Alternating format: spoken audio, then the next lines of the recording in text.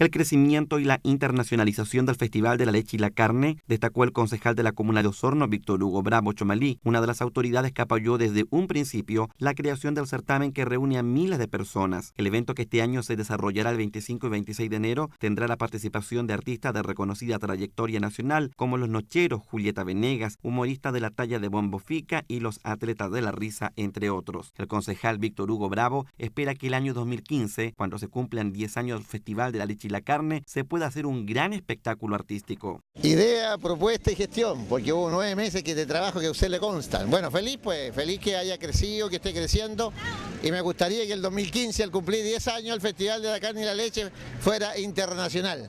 En parte es internacional también con esto de la reina, que lo tome la gente osornina, que no es la reina de Osorno, es la reina del festival y el festival para crecer y ayudar a todas las personas en el turismo y en, el comercio y, en la gestión económica tiene que ser internacional. Por lo tanto, las reinas son parte de la farándula, de la vida. Por lo tanto, eso hay que aclararlo. La reina va a ser del festival y el festival debe ser internacional y ya es una parte internacional, lo cual nos alegramos mucho. Así que el 2015 queremos un festival con artistas también extranjeros y artistas que participen también internacional, folclórico internacional de América, que sería precioso cuando se cumplan 10 años. El concejal Bravo Chomalí ha sido una de las autoridades más requeridas en este Festival de la Leche y la Carne, luego que se confirmara la participación de la modelo argentina Sandra Bustamante, esposa de uno de sus hijos y que vive en la provincia de Osorno. Tengo que ser leal a, la que está más cercana, a la que hoy día vive aquí, Camino Puyegua, 13 kilómetros, en la base de Santa Rosa.